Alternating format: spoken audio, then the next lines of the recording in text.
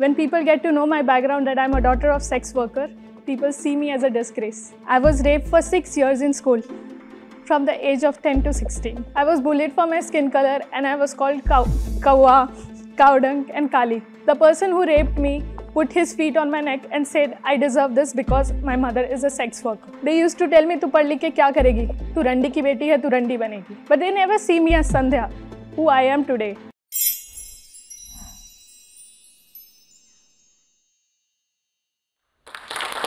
Child is born, the society teaches the child they can achieve whatever they want.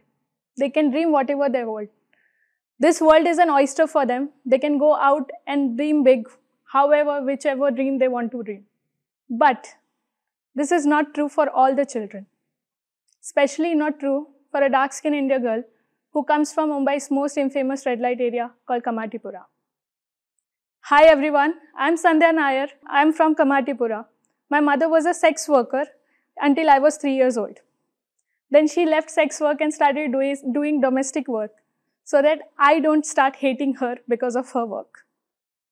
But I guess the world treated me well enough to hate my mother. I'm a 25 year old standing in front of the world and telling that I hated my mother whole of my life. Everybody wanted to go to school just normally how everybody wants to. Everybody's mother's dreams are to take their children to school, give them best education, give them the best jobs, mostly office jobs, 9 to 5. Same, my mother had the same dreams for me. My, I, when I was young, my mother took me to a school. When, my mother, when my mother talked about where she came from, they kicked her out and that said, they don't give admission to kids like us. My mother had to lie to get admission in school. I was a dark skinned Indian girl who came from Mumbai's most infamous red light area, Kamathipura. And I was reminded every single day of my life that I don't deserve to be there. When I was seven, I started working to support my family. It was, I used to work in fast food chain. I, I went to hotels cleaning garbages and everything. There was a time where I didn't used to get proper food, so I used to pick up from dustbin. While the world was teaching everybody that this world is equal and everybody deserves an opportunity, I was left alone in the backside of a classroom with a broken bench, slut written on it. I come from a classroom where I was, I was beaten up and I was thrown into the washroom. I was raped for six years in school from the age of 10 to 16. I was bullied for my skin color and I was called cow, kawa, cowdung and kali. The person who raped me put his feet on my neck and said, I deserve this because my mother is a sex worker. Whenever I had a doubt and I used to go to school to ask for any doubts, they used to tell me, तू पढ़ लिख के क्या करेगी? तू रंडी की बेटी है, तू रंडी बनेगी. I come from a community which was never accepted. We were not normal according to the society. I come from a community which were never seen as humans. Now when I talk about my community, all the people around the world talks about how there is disgrace in this world. The women are working for, like they're selling their body for money. But what I see and what you will see through my lens is a street full of mothers. A street full of mothers trying their best for their children. Waking up, working hard so that they go to good schools, so that they get whatever they deserve in this world, not because where they come from. Not because where they, what their background is, they shouldn't be stopped from doing that.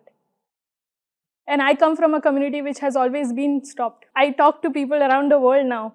I go to many stages, talk about my life story, talk about my journey of being bullied, being raped, being sexually abused at workplace, at bus stops. When people get to know my background that I'm a daughter of sex worker, people see me as a disgrace. People categorize me when they get, my, get to know my story, they sympathize with me. Oh, bichari. But they never see me as Sandhya, who I am today, what I have done in my life. I will be always sympathized as poor Sandhya. I'm categorized into these labels of being a victim or a survivor. But for me, I carry that with pride.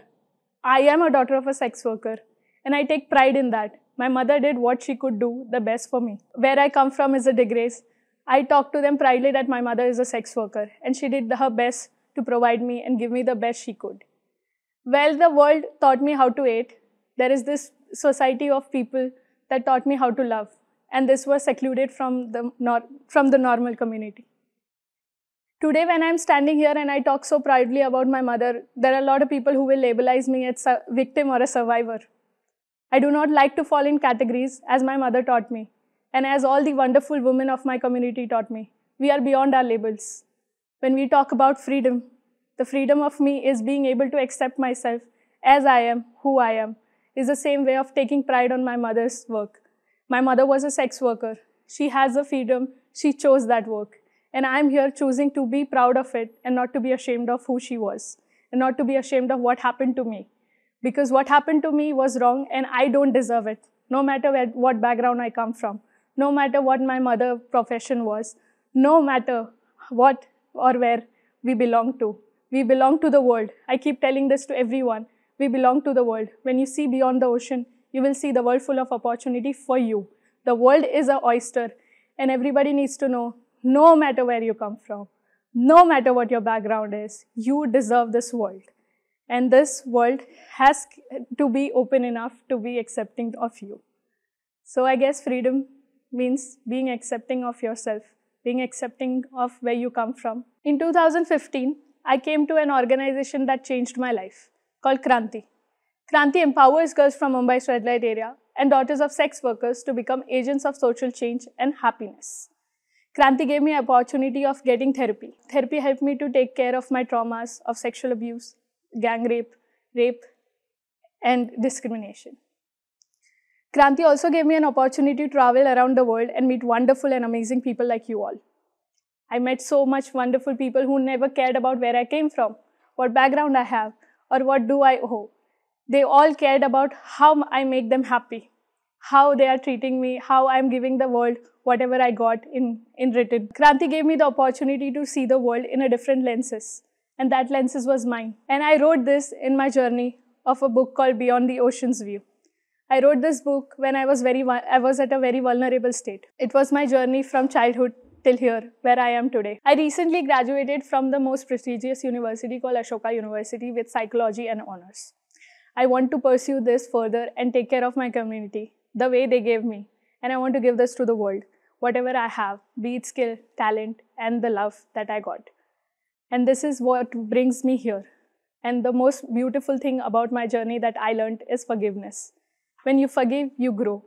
And this growth has brought me here, where I talk to the world and in front of the world around the globe and about my journey.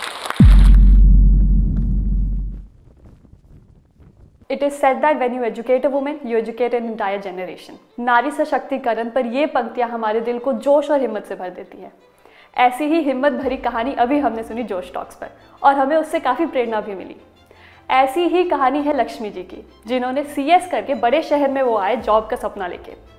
पर उन्हें यहाँ job नहीं मिल पाई, पर उन्होंने हिम्मत नहीं हारी। जोश के साथ उन्होंने कम्युनिकेशन स्किल्स पर काम किया और आज एक बड़ी कंपनी में वो काम कर रही हैं।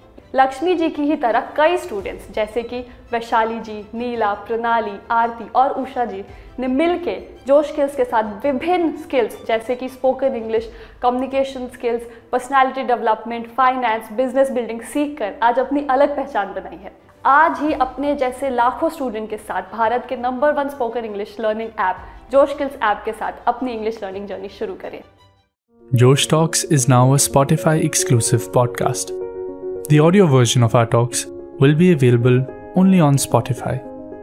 If you like this video and you like to listen to more inspiring stories like this, please follow the Josh Talks podcast only on Spotify. Tell us what you think about this video and don't forget to like, share, and subscribe.